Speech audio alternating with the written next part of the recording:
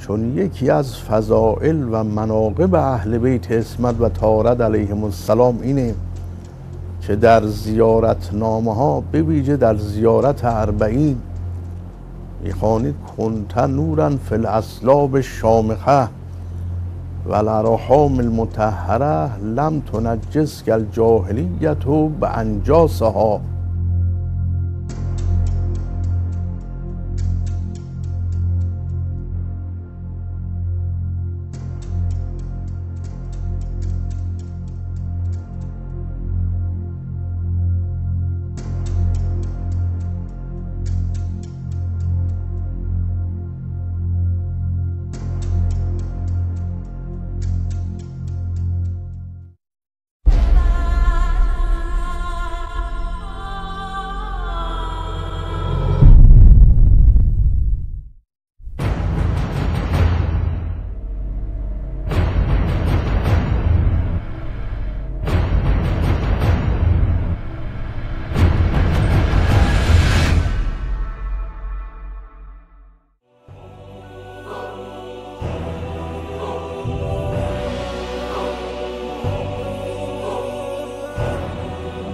عز وجل أمر رسوله الأعظم صلى الله عليه وآله أن يأكل من تفاحة من شجرة طوبة فأخذ هذه التفاحة وقسمها إلى قسمين وإذا مكتوب على جنب التفاحة الأيمن حسن وعلى جنبه على جنبها الأيسر حسين فأكل رسول الله تلك التفاحة فأشرق نور فاطمة في صلبه وبعد ذلك حملت خديجة بهذا بهذا النور وبنطفة الزهراء عليه السلام مباشرة من الجنة إلى صلب رسول الله.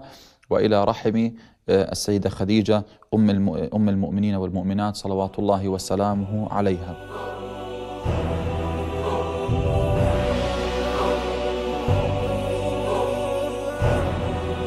حضرت ولادة الزهراء عليها السلام فبينما هي كذلك إذ دخل عليها أربعة نسوة سمر طوال كأنهن من نساء بني هاشم ففزعت منهن لما لما رأتهن فقالت إحداهن لا تحزني.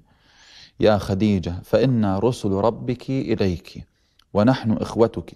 أنا سارة وهذه آسيا بنت مزاحم وهي رفيقتك في الجنة. وهذه مريم بنت عمران وهذه كلثم أخت موسى بن عمران. بعثنا الله إليك لنلي منك ما تلي النساء من النساء. فجلست واحدة عن يمينها وأخرى عن يسارها وثالثة بين يديها ورابعة من خلفها فوضعت فاطمة عليها السلام طاهرة مطهرة.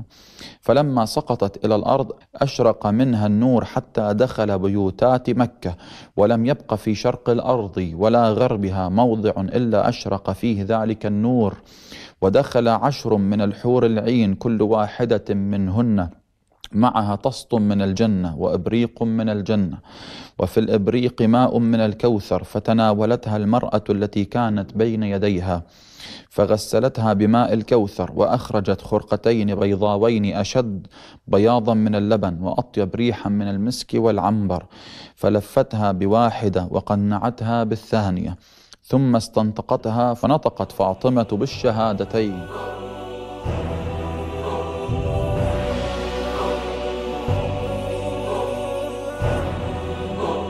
الله سبحانه وتعالى يقول يا فاطمة وعزتي وجلالي وارتفاع مكاني لقد آليت على نفسي من قبل أن أخلق السماوات والأرض بألفي عام أن لا أعذب محبيك ومحبي عترتك بالنار. وهي عليها السلام عند الملائكة نور زاهر فقد سألت الملائكة ربها فقالت إلهنا وسيدنا لمن هذا النور الزاهر؟ الذي قد أشرقت به السماوات والأرض فأوحى الله إليها هذا نور اخترعته من نور جلالي لأمة فاطمة ابنة حبيبي وزوجة ولي وأخو نبيي وأبو حججي على عبادي أشهدكم ملائكتي أني قد جعلت ثواب تسبيحكم وتقديسكم لهذه المرأة وشيعتها ومحبيها إلى يوم القيامة.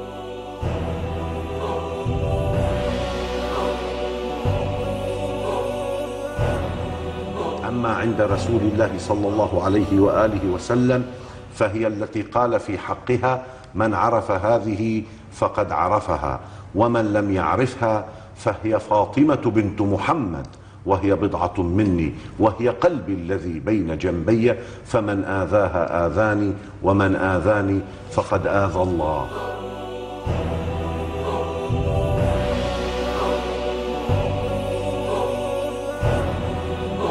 عليها السلام عند الأئمة من ولدها عليهم السلام الأمر العظيم الذي قال فيه الإمام العسكري نحن حجج الله على خلقه وجدتنا فاطمة حجة الله علينا.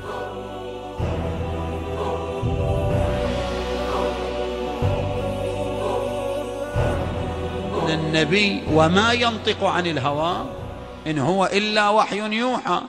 فحينما يقول أن فاطمة أم أبيها شو يعني؟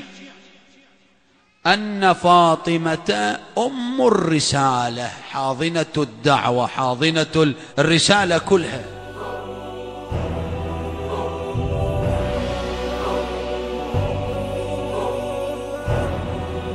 وكانت الزهراء سلام الله عليها المثل الأعلى للمرأة المؤمنة المخلصة.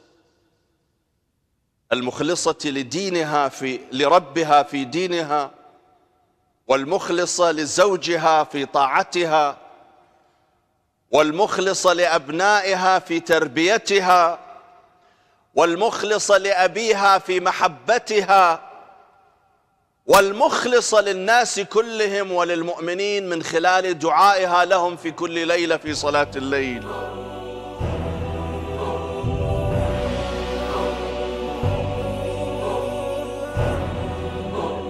مجمع جمال النبوة وجمال الإمامة. ومجمع جلال النبوة وجلال الإمامة. هي المجمع لكل ذلك. تلخصت فيها كمالات النبي وكمالات الأئمة. وكل الصفات الجلالية الموجودة في النبي والأئمة موجودة فيها. ولذا هي صديقة كبرى.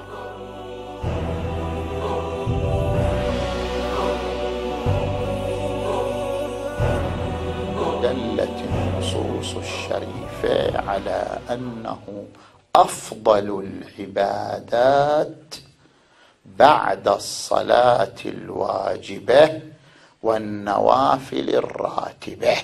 النبي جعفر عليه السلام ما عبد الله بشيء من التحميد أفضل من تسبيح فاطمة.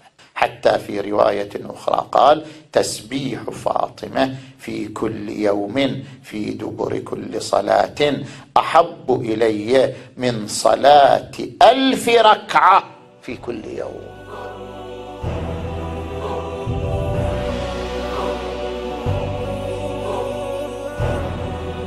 جبرائيل كما هو معروف ينزل عليها بعد شهادة أبيها المصطفى صلى الله عليه وآله فيحدثها آه، بما كان وما يكون وما هو كائن إلى يوم القيامة. وقد أملى وقد كتب أمير المؤمنين ما أملاه جبرائيل على فاطمة في مصحف سمي بمصحف فاطمة. وهذا المصحف آه، موجود الآن بين يدي إمام زماننا صلوات الله وسلامه عليه ولا يظهر هذا المصحف إلا بظهور الإمام عليه السلام.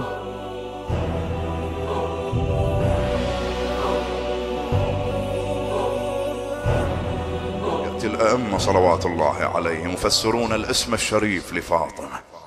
إنما سميت فاطمة لأن الخلق فطم شيعتها من النار.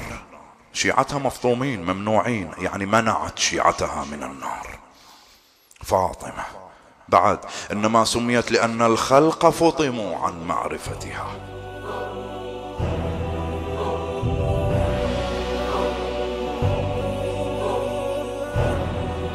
الزهراء الذي يزدهر نورها. رسول الله يقول إن الله خلق الأكوان فخلقها مظلمة فشكت الملائكة إلى الله. إلهي السماوات والأرض مظلمة فخلق الله نور فاطمة الزهراء فتجلى وأضاء الأكوان السماوات والأرض بنور فاطمة الزهراء.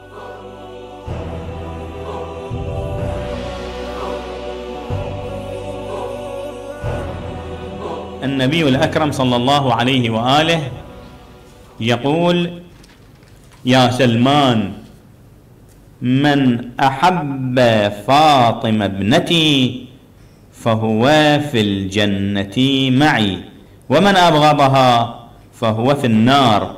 يا سلمان حب فاطمة ينفع في مئة من المواطن. أيسر تلك المواطن؟ الموت.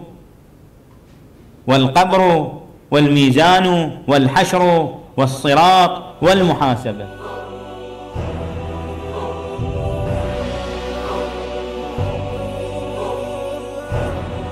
عاشت مع أمير المؤمنين ودافعت عن أمير المؤمنين وعن ولاية أمير المؤمنين صلوات الله وسلامه عليها حتى حضرتها الوفاة بتلك الفاجعة الأليمة وبتلك الطريقة الأليمة أن بنت رسول الله صلى الله عليه وآله وسلم تعصر بين الباب والجدار فلا يراعى حقها سلام الله عليها رغم أنها بنت رسول الله أوصت أمير المؤمنين سلام الله عليها بأن يدفنها في الليل سرا إذا هدأت الأصوات ونامت العيون فسلام الله عليها يوم ولدت ويوم استشهدت ويوم تبعث حية شفيعة لشيعتها. نسأل الله عز وجل أن يرزقنا زيارتها وحبها وألفتها في الدنيا وشفاعتها في الآخرة. إنه سميع الدعاء.